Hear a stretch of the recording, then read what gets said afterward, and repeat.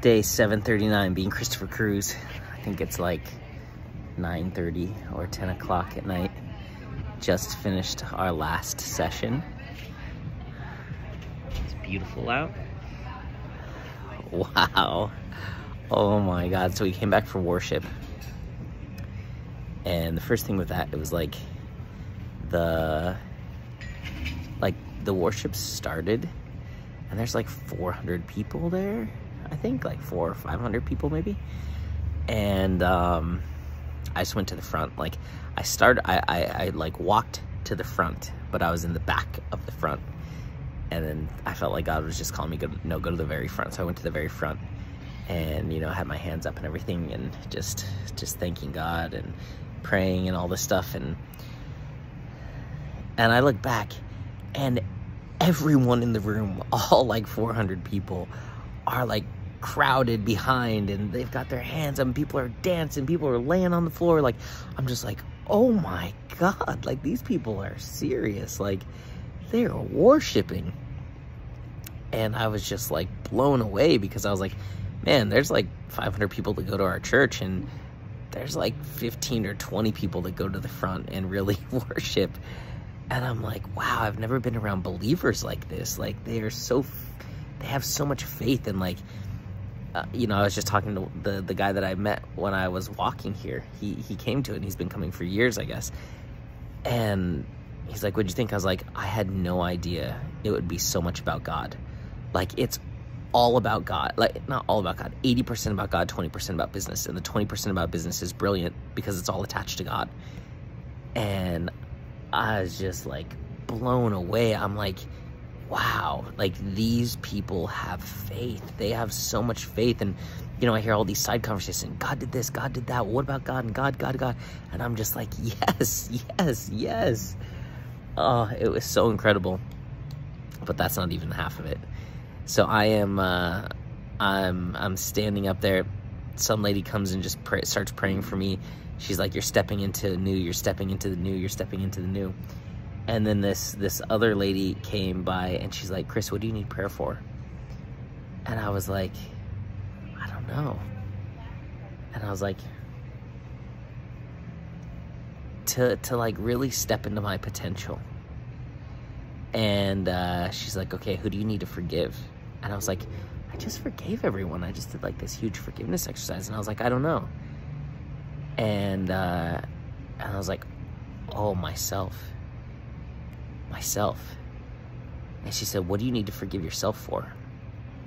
And I was thinking, and I couldn't think of anything. She said, Ask God for the answer. And I was like, Okay, God, what do I need to forgive myself for? And boom, it hit me, and I just started crying. I needed to forgive me, forgive myself for not knowing God sooner, for not knowing God sooner and wasting my potential and failing. And then she just started praying, and I just started crying and crying because I realized that I'm I'm angry at myself and I feel like a failure because I haven't lived into my potential but the truth is I can't live into my potential without God. And so this whole time I've been angry at myself and I felt like a failure and a loser and like I've wasted my life and wasted my potential. But the truth is you can't live into your potential without God. It's impossible. God created your potential and you can't live into it without him. So it's not that I suck or I'm a loser or something's wrong with me or I'm a failure or, or I'm mediocre it's that I've lived my entire life with God and I've only accepted God into my life over the last like three months, like legitimately accepted God like three months, four months. And right when I accepted God, I go speak on two stages, bring in $26,000 in, in clients, and it's just like my world gets rocked. And I'm like, oh my God. I haven't lived into my potential because I suck. I don't, it's not that I suck or I, I don't have you know, I'm not intelligent or I'm not capable. It's that I didn't have God. I had purpose, but I didn't have God. I had the Lamborghini, but I didn't have the fuel. Just because your Lamborghini's out of gas doesn't mean that it's broken. Just because I didn't live into my, just because I'm not, haven't been living into my potential, because I didn't have God doesn't mean I'm broken, doesn't mean something's wrong with me, doesn't mean I'm a failure, doesn't mean I'm a loser, doesn't mean I'm mediocre, doesn't mean any of that stuff.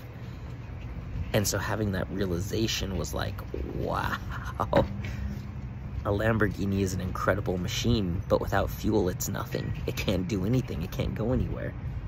And it's like, we are the same. We are these incredible, amazing, powerful machines, but God is the fuel, and without the fuel, without God, we can never live into our potential. Now, the problem is I've seen that I'm a Lamborghini. It's like, I know who I am inside. I know what I'm capable of. I know how powerful I am. Like, I know all of this stuff. This stuff. Why can't I move forward? Why can't I move forward? I didn't have fuel. And I only found the fuel a few months ago, which is God. And that's why my life is changing so dramatically, you know, especially internally, spiritually, but it's it's rocking things externally. It's shifting things externally. And it's breaking a lot of things, which is uncomfortable. But it's just like, wow. So this whole time I've been so, I've, I've just, my confidence is just like, and I've been so frustrated and angry at myself because like, man, Chris, what are you doing? You're 35 years old. You can't pay your rent. You're overweight. Like your business is not doing anything. Like all these different things. And I thought like, there's just something wrong with me. There's just something wrong with me. And then there's not anything wrong with me. I've just been trying to do it my whole life without God. And now I got God. I have not wasted my potential. I couldn't even live into my potential without God. It's not that the Lamborghini can't drive, it just needs fuel to drive. It needs fuel to move forward.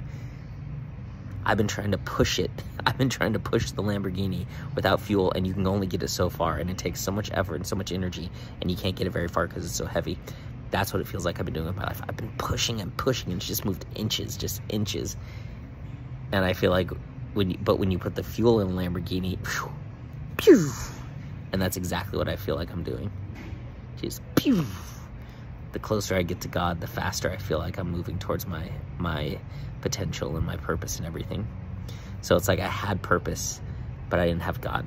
I had the Lamborghini, but I didn't have the fuel. That doesn't make me a failure. That doesn't make me mediocre. That doesn't make me a loser. I was just lost. And that's what God gave me when I was praying. He said, You're not a failure. You were just lost. There's nothing wrong with you. You just didn't have me. And I'm the source of your potential. You can only live into your potential through me, with me. So, like, probably the greatest personal breakthrough of my life. Like, I can't think of a bigger breakthrough than that, personally. Like,